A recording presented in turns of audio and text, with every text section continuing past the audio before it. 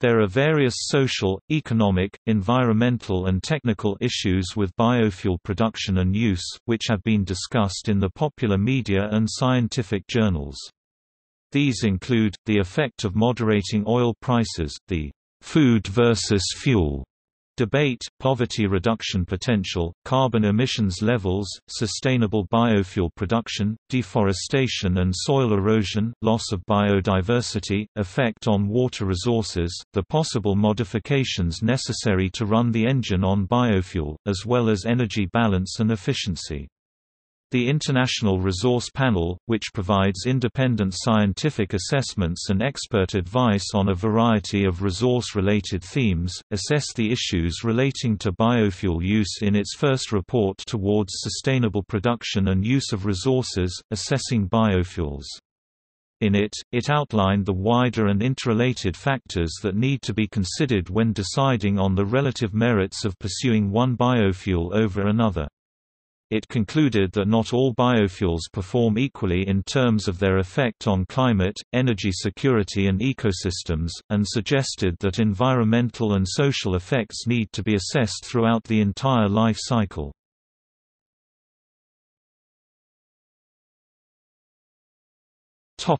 Social and economic effects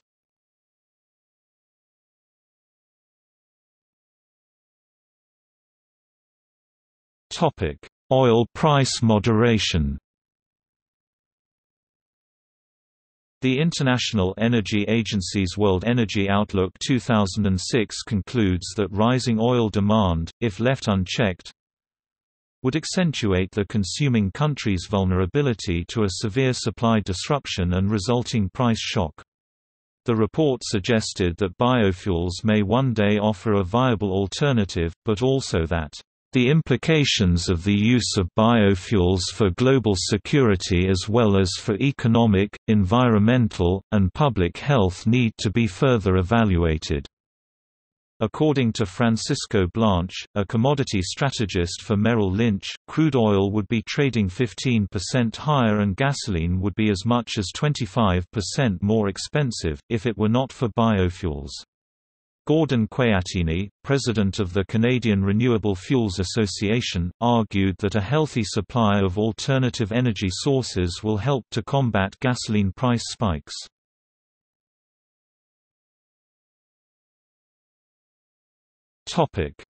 Food versus fuel debate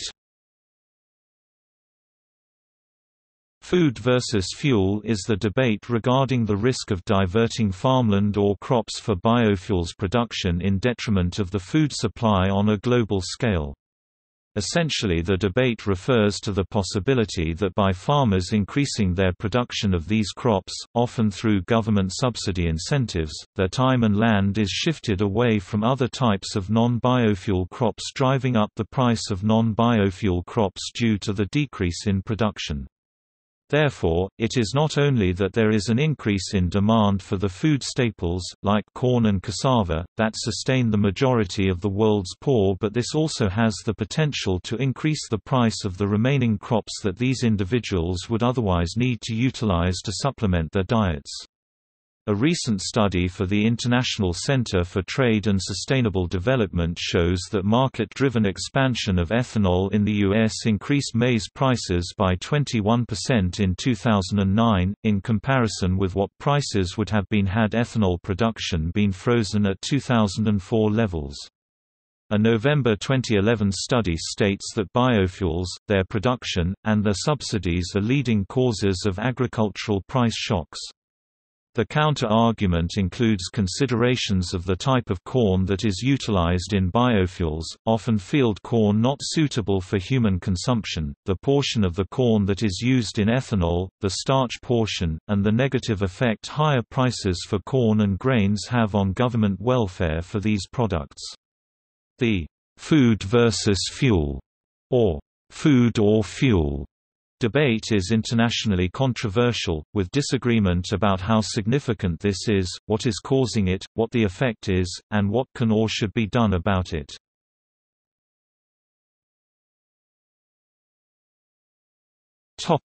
Poverty reduction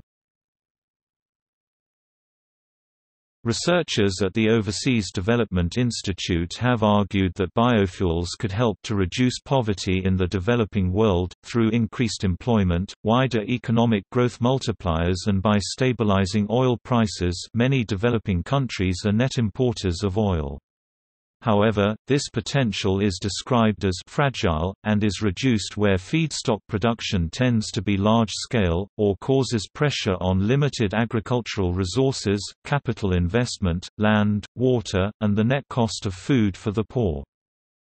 With regards to the potential for poverty reduction or exacerbation, biofuels rely on many of the same policy, regulatory or investment shortcomings that impede agriculture as a route to poverty reduction.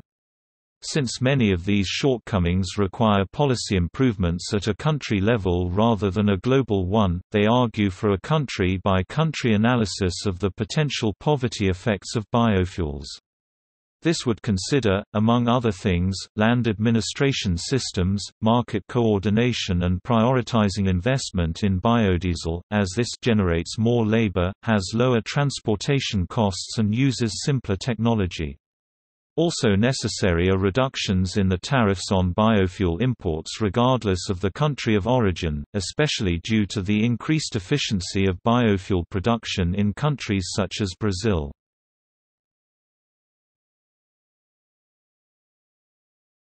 Topic: Sustainable biofuel production. Responsible policies and economic instruments would help to ensure that biofuel commercialization, including the development of new cellulosic technologies, is sustainable. Responsible commercialization of biofuels represents an opportunity to enhance sustainable economic prospects in Africa, Latin America and impoverished Asia.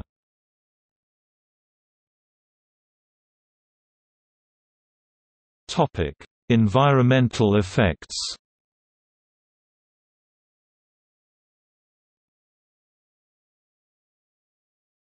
Topic: Soil erosion and deforestation.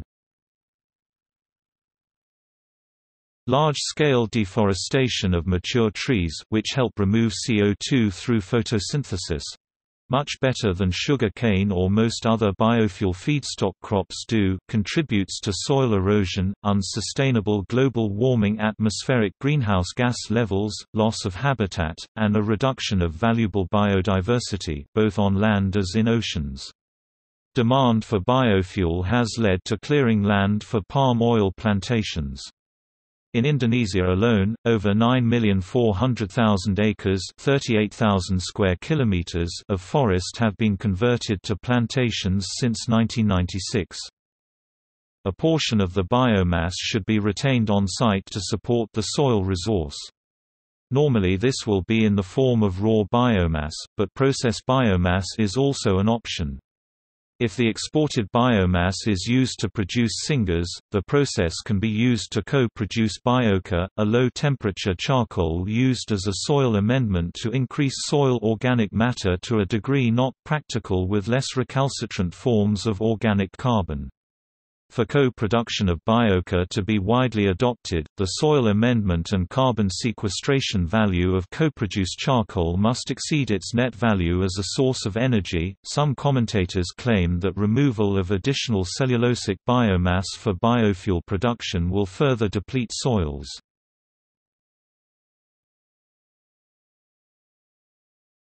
Topic: Effect on water resources.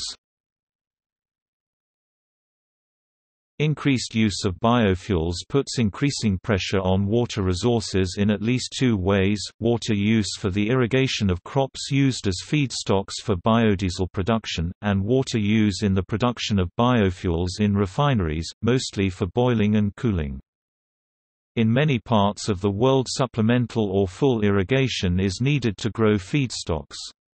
For example, if in the production of corn maize half the water needs of crops are met through irrigation and the other half through rainfall, about 860 liters of water are needed to produce 1 liter of ethanol. However, in the United States only 5 to 15% of the water required for corn comes from irrigation while the other 85 to 95% comes from natural rainfall. In the United States, the number of ethanol factories has almost tripled from 50 in 2000 to about 140 in 2008. A further 60 or so are under construction, and many more are planned.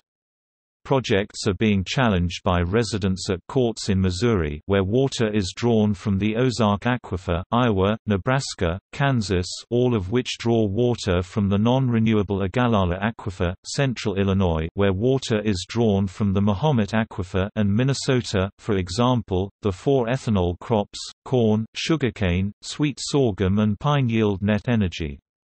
However, increasing production in order to meet the U.S. Energy Independence and Security Act mandates for renewable fuels by 2022 would take a heavy toll in the states of Florida and Georgia.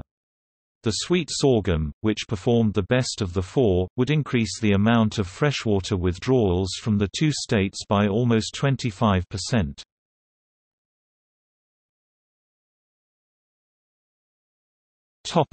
Pollution Formaldehyde, acetaldehyde and other aldehydes are produced when alcohols are oxidized.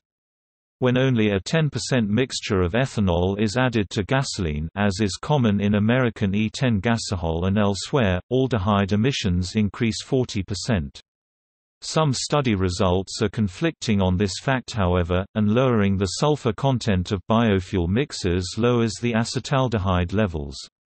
Burning biodiesel also emits aldehydes and other potentially hazardous aromatic compounds which are not regulated in emissions laws. Many aldehydes are toxic to living cells. Formaldehyde irreversibly cross-links protein amino acids, which produces the hard flesh of embalmed bodies. At high concentrations in an enclosed space, formaldehyde can be a significant respiratory irritant causing nose bleeds, respiratory distress, lung disease, and persistent headaches. Acetaldehyde, which is produced in the body by alcohol drinkers and found in the mouths of smokers and those with poor oral hygiene, is carcinogenic and mutagenic. The European Union has banned products that contain formaldehyde, due to its documented carcinogenic characteristics.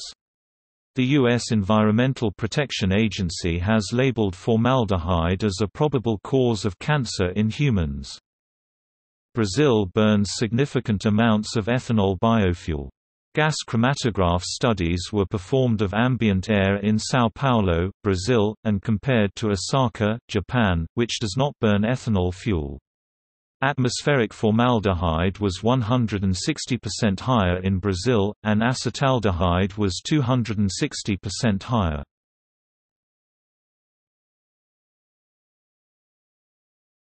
Topic: Technical issues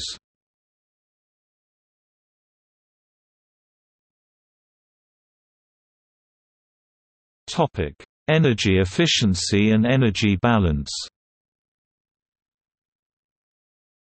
Despite its occasional proclamation as a green fuel, first-generation biofuels, primarily ethanol, are not without their own GHG emissions.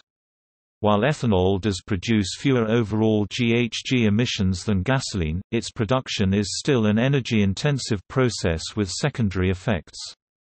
Gasoline generally produces 8.91 kg CO2 per gallon, compared to 8.02 kg CO2 per gallon for E10 ethanol and 1.34 kg CO2 per gallon for E85 ethanol.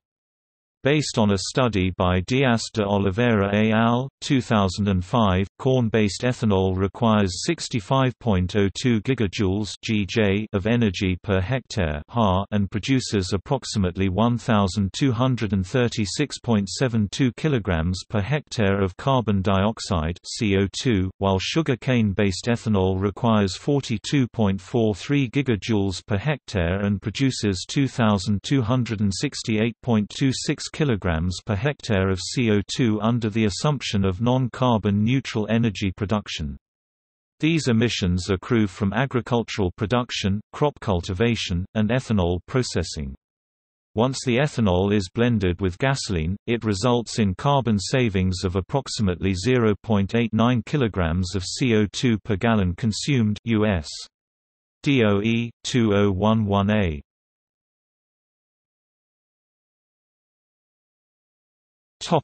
Economic viability From a production standpoint, Miscanthus can produce 742 gallons of ethanol per acre of land, which is nearly twice as much as corn 399 gallons, acre, assuming average yield of 145 bushels per acre under normal corn-soybean rotation and nearly three times as much as corn stover 165 gallons, acre and switchgrass 214 gallons, acre. Production costs are a big impediment to large-scale implementation of second-generation biofuels, and their market demand will depend primarily on their price competitiveness relative to corn ethanol and gasoline.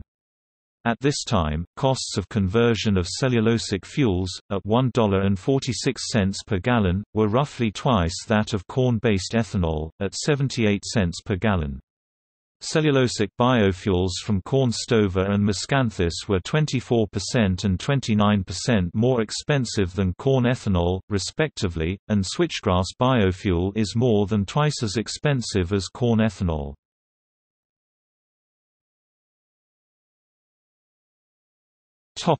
Carbon emissions Biofuels and other forms of renewable energy aim to be carbon neutral or even carbon negative. Carbon neutral means that the carbon released during the use of the fuel, e.g. through burning to power transport or generate electricity, is reabsorbed and balanced by the carbon absorbed by new plant growth. These plants are then harvested to make the next batch of fuel. Carbon-neutral fuels lead to no net increases in human contributions to atmospheric carbon dioxide levels, reducing the human contributions to global warming. A carbon-negative aim is achieved when a portion of the biomass is used for carbon sequestration. Calculating exactly how much greenhouse gas GHG is produced in burning biofuels is a complex and inexact process, which depends very much on the method by which the fuel is produced and other assumptions made in the calculation. The carbon emissions carbon footprint produced by biofuels are calculated using a technique called life cycle analysis LCA. This uses a cradle-to-grave or well-to-wheels approach to calculate the total amount of carbon dioxide and other greenhouse gases emitted during biofuel production, from putting seed in the ground to using the fuel in cars and trucks. Many different LCAs have been done for different biofuels, with widely differing results. Several well-to-wheel analysis for biofuels has shown that first-generation biofuels can reduce carbon emissions, with savings depending on the feedstock used, and second-generation biofuels can produce even higher savings when compared to using fossil fuels. However, those studies did not take into account emissions from nitrogen fixation, or additional carbon emissions due to indirect land use changes. In addition, many LCA studies fail to analyze the effect of substitutes that may come into the market to replace current biomass-based products. In the case of crude tall oil, a raw material used in the production of pine chemicals and now being diverted for use in biofuel, an LCA study found that the global carbon footprint of pine chemicals produced from CTO is 50% lower than substitute products used in the same situation offsetting any gains from utilizing a biofuel to replace fossil fuels. Additionally the study showed that fossil fuels are not reduced when CTO is diverted to biofuel use and the substitute products consume disproportionately more energy. This diversion will negatively affect an industry that contributes significantly to the world economy, globally producing more than 3 billion pounds of pine chemicals annually in complex, high-technology refineries and providing jobs directly and indirectly for tens of thousands of workers.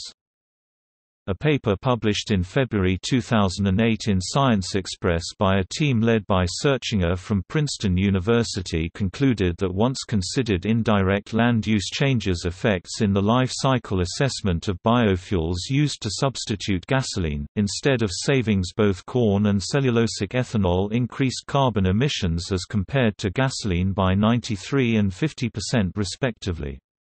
A second paper published in the same issue of Science Express, by a team led by Fargione from the Nature Conservancy, found that a carbon debt is created when natural lands are cleared and being converted to biofuel production and to crop production when agricultural land is diverted to biofuel production. Therefore, this carbon debt applies to both direct and indirect land use changes. The Searchinger and Fargione studies gained prominent attention in both the popular media and in science scientific journals. The methodology, however, drew some criticism, with Wang and Haq from Argonne National Laboratory posted a public letter and sent their criticism about the Searchinger paper to Letters to Science. Another criticism by Kline and Dale from Oak Ridge National Laboratory was published in Letters to Science. They argued that Searchinger et al. and Fargione et al do not provide adequate support for the claim that biofuels cause high emissions due to land use change. The U.S. biofuel industry also reacted, claiming in a public letter, that the Searchinger study is clearly a worst-case scenario analysis, and that this study relies on a long series of highly subjective assumptions.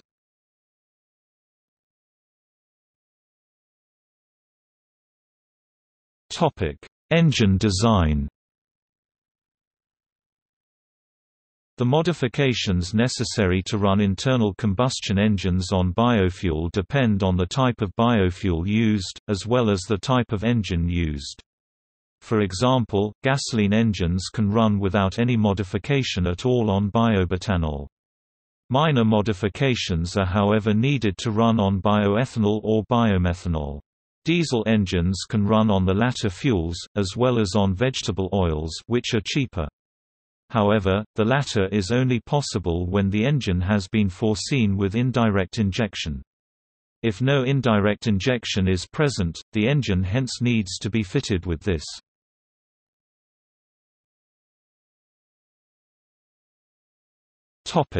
Campaigns A number of environmental NGOs campaign against the production of biofuels as a large-scale alternative to fossil fuels. For example, Friends of the Earth state that the current rush to develop agrofuels or biofuels on a large scale is ill-conceived and will contribute to an already unsustainable trade whilst not solving the problems of climate change or energy security. Some mainstream environmental groups support biofuels as a significant step toward slowing or stopping global climate change. However, supportive environmental groups generally hold the view that biofuel production can threaten the environment if it is not done sustainably. This finding has been backed by reports of the UN, the IPCC, and some other smaller environmental and social groups as the EEB and the Bank Sarasin, which generally remain negative about biofuels. As a result, governmental and environmental organizations are turning against biofuels made in a non-sustainable way hereby preferring certain oil sources as jatropha and lignocellulose over palm oil and are asking for global support for this. Also, besides supporting these more sustainable biofuels, environmental organizations are redirecting to new technologies that do not use internal combustion engines such as hydrogen and compressed air. Several standard setting and certification initiatives have been set up on the topic of biofuels. The Roundtable on Sustainable Biofuels is an international initiative which brings together farmers, companies, governments, non-governmental organizations, and scientists who are interested in the sustainability of biofuels production and distribution. During 2008, the Roundtable is developing a series of principles and criteria for sustainable biofuels production through meetings, teleconferences, and online discussions. In a similar vein, the Bonsucro standard has been developed as a metric-based certificate for products and supply chains, as a result of an ongoing multi-stakeholder initiative focusing on the products of sugar cane, including ethanol fuel. The increased manufacture of biofuels will require increasing land areas to be used for agriculture. Second and third generation biofuel processes can ease the pressure on land, because they can use waste biomass, and existing untapped sources of biomass such as crop residues and potentially even marine algae. In some regions of the world, a combination of increasing demand for food, and increasing demand for biofuel, is causing deforestation and threats to biodiversity.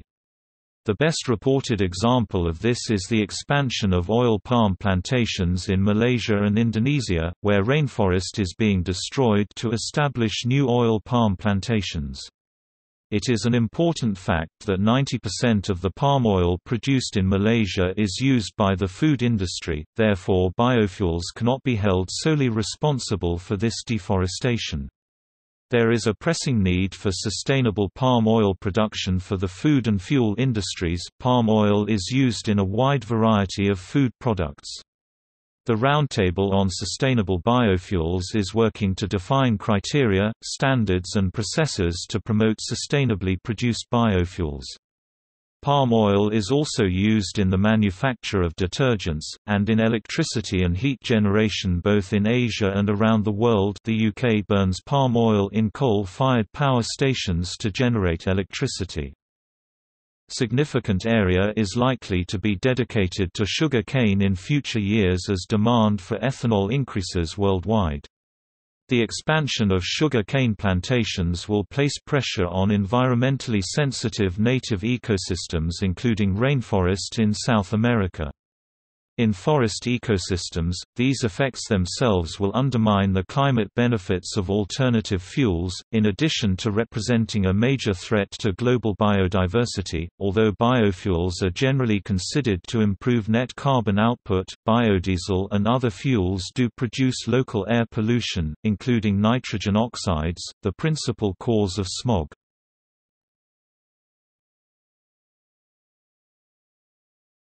Topic See also.